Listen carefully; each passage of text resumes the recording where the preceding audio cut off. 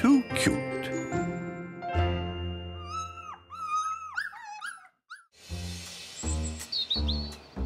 Back in the land of the tailless kittens, Charlie, the only kitten with a tail, still feels like the odd man out. So he spends most of his time with the only other tailed member of the household, 19-year-old Buddy. But while the Siamese cat and the Manx kitten have an extra appendage in common, that's pretty much where the similarities end. While Buddy enjoys long, tranquil cat naps, the eight-week-old kitten rarely sits still.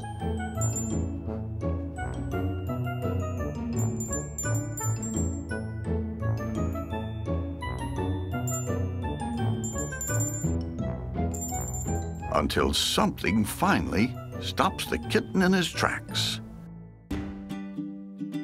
All this time, he thought he didn't fit in with his siblings, but he can't help but notice that they like to play a lot. Just like him. And since his old pal Buddy looks like he's ready for another cat nap, Charlie decides to try and join in with the other kittens. And though his tail certainly doesn't go unnoticed,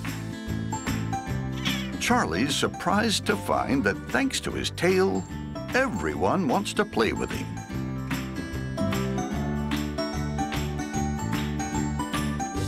It turns out that sometimes you don't need to perfectly fit the mold in order to fit in.